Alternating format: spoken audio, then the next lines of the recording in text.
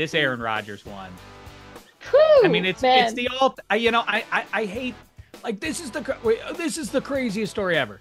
This is maybe it. This is maybe it. this is a gift to comedy. Like yesterday, I was like, oh my god, thank you so much, comedy gods, for like giving us this story because, I mean, of course, free agency is happening, and it's like every you know people changing teams is the biggest story, but somehow Aaron Rodgers finds a way to insert himself into the conversation because, you know. I can't believe the conversation wasn't about him for 10 minutes that we all had to just go. He had to go, nope, I might be the vice president of the United States. I mean, what is a more useless position? Vice president or quarterback of the Jets? Like, what position is the least powerful in this world?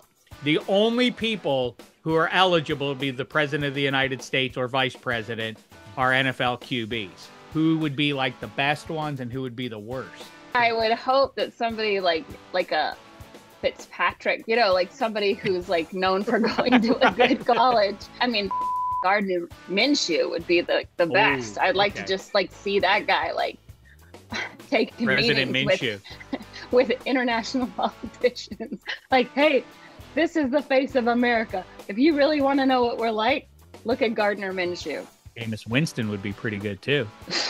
Yeah, just eating W's for the White House. That's right. Joe Cool Burrow, you know what I mean? Like, you know, smoking Joe Burrow, like somebody cool, like calm under pressure, never gets rattled. I mean, Mahomes is like the heir apparent to everything. He can't so do we it. don't, we, We we can't can't, let him do it because he, we need him in football. Or do we go a little off the board and just go with Jason Kelce as president? Travis can be vice president, so he can toil in football for the next couple of years, and then you know move on up. I, you know, I think you you'd be hard. pr- I I, think mean, they would get the votes if they ran. Like they would for get the real. votes. I mean, okay, think about that. Talk about rocking the vote.